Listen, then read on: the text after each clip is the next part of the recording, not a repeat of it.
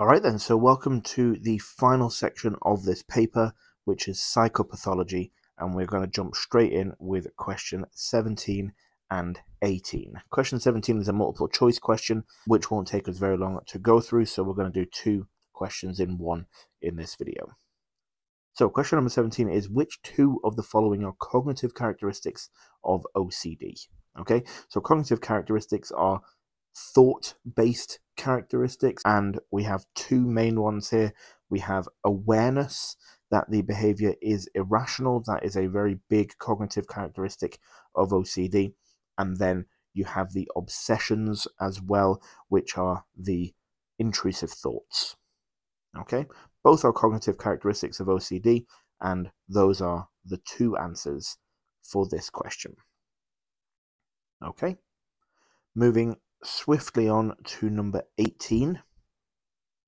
Okay, so this is a six marker. This is a long answer question, and it is outline one or more ways in which behaviorists treat phobias. Okay, now this is not a trick question. You can get the full six marks if you only outline one way in which behaviorists treat phobias, and it's not a problem to do that.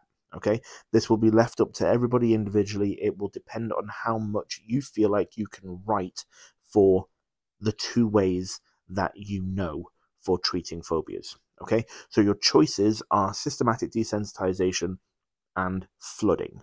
Okay, both of them you could get six marks if you, you could get six marks for just writing about either of them.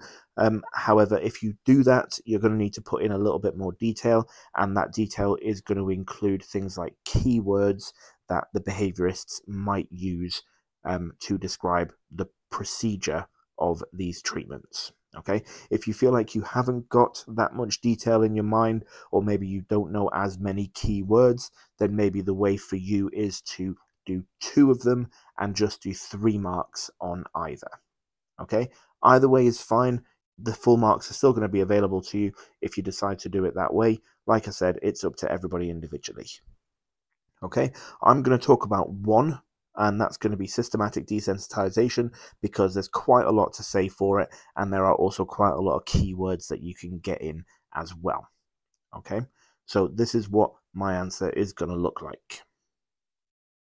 So let's go through it. First off, we have our little introduction of systematic desensitization, which is just a sentence about what it is.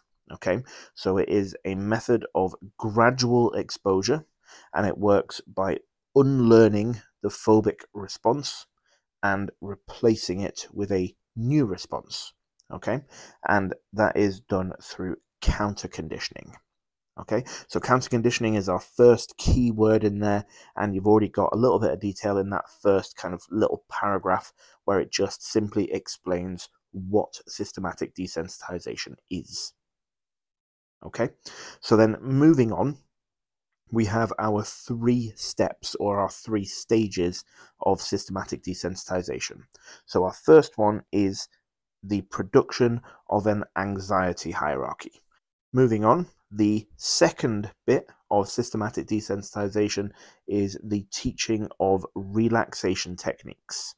Okay, give a couple of examples of what they might be, like mindfulness, meditation, breathing techniques, whatever. It doesn't matter what your examples are as long as you have a couple.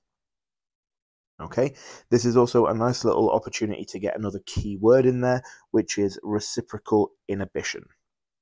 Okay, and then our final bit is the exposure bit, and that is the full procedure for systematic desensitization. And those are my six marks. Okay, so let's go to the beginning again, just quickly.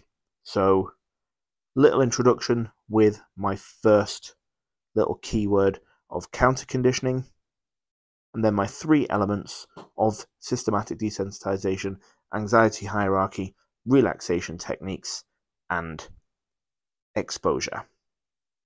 Okay, reciprocal inhibition is my other keyword that I'm going to put in there, and that should be plenty. Okay, there are other things that you could mention. You could talk about things like it's based on classical conditioning and all of that kind of stuff. If you want, that's fine if you've put that in. Um, obviously, the more keywords, the better.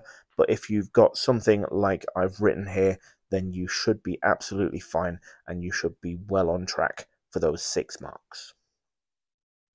Okay? And that is question number 18. I'll see you in the next video for the last question and also the last essay of this paper. Thank you very much for listening. I'll see you in the next one.